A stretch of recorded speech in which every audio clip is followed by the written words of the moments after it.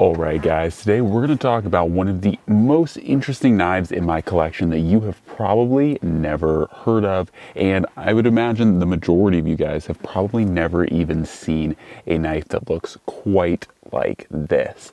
And without any further ado guys, today we're going to be looking at and talking about a little bit of the history briefly on the Emerson NSAR. Now, like I said, this is the knife that you're looking at is the Emerson NSAR. But before we get into this knife, its specifications, its features, its blade material, all the usual stuff, I thought I would talk about um, I thought I would talk about the history of this knife because it's actually a fairly interesting history of this, like how this knife came to be. And of course, with a blade shape that looks like this, it obviously has a very purpose driven um, mindset behind it. So like this knife didn't just come to someone in a dream. This was a very purposeful blade. So essentially the NSAR, before we talk about the NSAR, we have to talk about Emerson's SARK or S-A-R And what the all these acronyms stand for is SARK stands for Search and Rescue Knife. And the SARK is basically, it looks just like this. I might throw up an image of it, but essentially the SARK looks just like this knife minus the seatbelt cutter or strap cutter and minus the serrations. So the SARK basically has the same type of curvature to the blade. It has the same style of handle, all that stuff. But the SARK was originally designed to meet a Navy contract or a Navy request of Emerson to build a knife that their dive uh, professionals could use in the event they need to rescue people who are trapped in webbing, can't breathe. Um, and originally it came from a rather tragic situation where the, ni- the Navy was doing a dive. Um, drill and during that drill there was a significant amount of malfunctions and for whatever reason a quite a few people ended up losing their lives because the knives that the navy had originally issued for um, safety you know like cutting through webbing and stuff had failed catastrophically. So once again the navy um, or members of the navy reached out to emerson with a an idea or with a not so much an idea but a like a requirement or a specification that they needed something better for their rescue knives. So the sark was that immediate response that emerson had. Now the sark in and of itself is a great knife. It's a great rescue knife uh, and for what it's designed for it's just fine. But the NSAR is the kind of spiritual successor to the sark. And the NSAR for what that stands for for those who don't know stands for Navy Search and Rescue. So once again, it was designed to meet the Navy's requirement for a search and rescue, um, ultimately a dive blade that could be used specifically for rescue operations. Now there are other component or there are other competitors to these.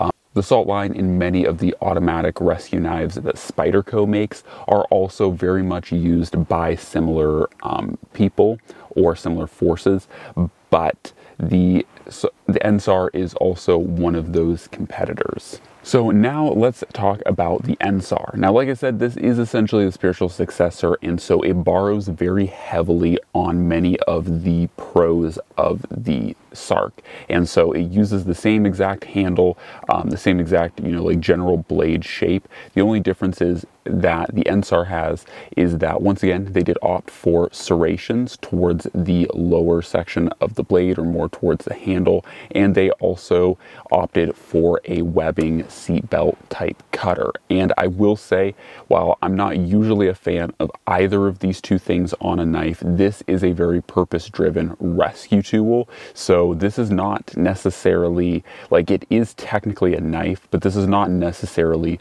your run of the mill type of EDC blade. This has a very specific application to EMS, EMTs, of course, rescue, search and rescue uh, squads, and different people. So as a whole, this thing is not designed for your average, you know, cutting open a bag of chips. Like, will it do that? Sure, this can probably cut up cut open a bag of chips, but at the same time, too, this is not what you're really wanting to use to open Amazon packages, and it's not really designed for that at all. So, in addition to the serrations and the seatbelt cutter or webbing cutter. It also has a heavily blunted tip, as you guys can see there. And once again, this is specifically designed so that if you do have to press this up against someone's skin to cut clothing off, to cut other items off, this is going to um, not obviously penetrate or cut anything that you don't want it to. So this is entirely blunt here. There is absolutely no edge and it's pretty darn, um, comes down to a pretty darn dull tip. So that is ultimately what you want. Once again, this is a rescue knife, so it is not designed to penetrate at all. In addition to something I really like about the curvature of this knife, and from my background, my experience, I really do like this knife in a number of ways. The biggest thing I like about the curvature of this blade or the blade shape as a whole, like the blade shape as a whole is what attracted me initially, and I like it for two reasons. One, if you do have to press this up against someone's skin, it's not optimal to cut people's clothing off in any environment, especially with a knife, but if you need a knife to do that, I think the NSAR is one of the better, or even the Sark because it has the same blade shape.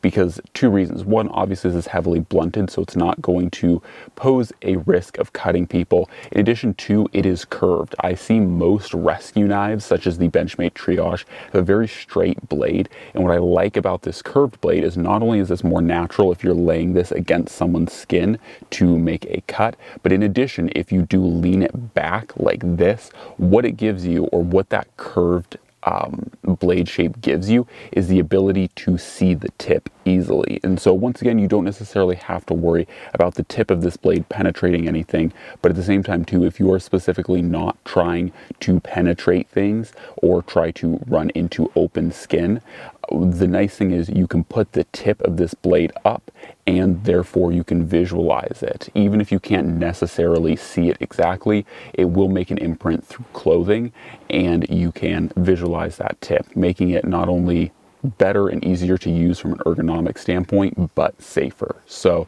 that is what I like about the curvature of this tip. Now, other things that, like I said, I don't normally like on knives, things like serrations. I'm not a huge fan of serrations normally, but given this knife's general, you know, use application where it is specifically designed to cut through textiles, fabrics, and webbing, undoubtedly things like serrations do a really good job at cutting through those materials. That's just a reality. Also, too, I really love the way that this webbing um, hook was made.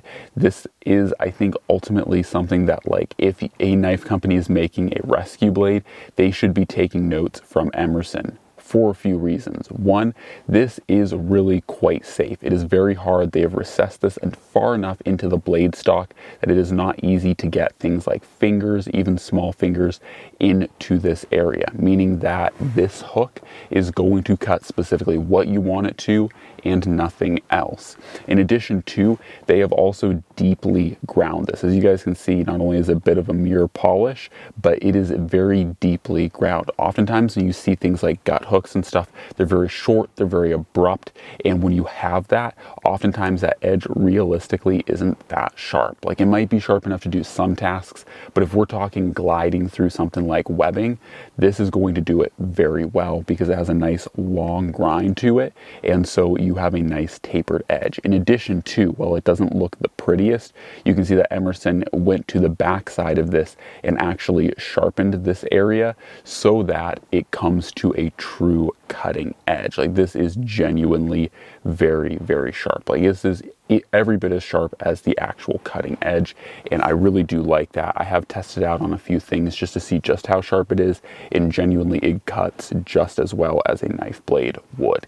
And that is something that you honestly like, that may not sound like a huge deal, but you genuinely don't see that a lot or very frequently with integral rescue hooks or safety hooks or gut hooks. So I do really like the way that they did this. It was well executed and honestly, it does just fine. All right.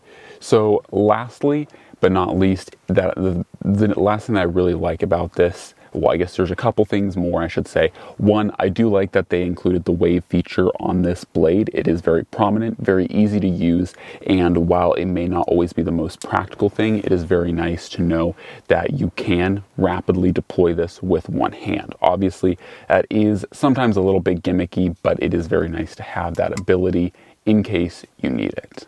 So that is one feature that I like uh, a lot. And then the last one for me that I really like is the handle size and the overall way that the handle is designed. It is very, very grippy, very textured, and I feel like I can get a really confident grip on this blade, both in forward and reverse. And I think it's nice to, or important to know at least, uh, about reverse grip because you do have this hook here that you may have to, you know, reverse grip the blade and hold it in its opposed manner to use that hook. So anyways, it is nice. The grip is very, very um, comfortable and allows for a wide variety of different carry, or sorry, different holds. The handle is very nice and it does allow for multiple different types of hold. Um, in addition, last thing is, and I'm not sure if this is because my other Emersons are just older. This is one of my first newer Emersons. So like this is a, a newer designed or newer um, Emerson as opposed to like my 2009 and 2012, I want to say, Emersons. And that is that the G10 on this is very, very grippy. The pattern is the same from the older uh, Emerson's, but this is genuinely like abrasive. Like this feels like a sandpaper.